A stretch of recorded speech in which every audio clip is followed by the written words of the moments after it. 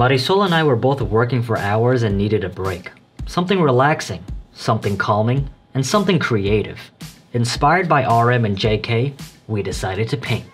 But we suck at painting. Well, I guess everyone sucks at painting compared to Jungkook. But what do we even paint? Army Bomb. We gathered all the paint and equipment and got right into it. We honestly didn't know where to start, so we just started with a round circle. Personally, painting is so tough for us and we are so bad at it, but we didn't let that stop us. We focused on having fun and not the results too much. I tried creating some sort of vignette effect so you could focus on the army bomb more, but I ended up just looking like an alpaca painting for the first time. After around 30 minutes of trying our best, then dropping some brushes off the balcony, whoops, we were forced inside as it was about to begin raining. This is our result so far, follow our account to see the end result. Borahae.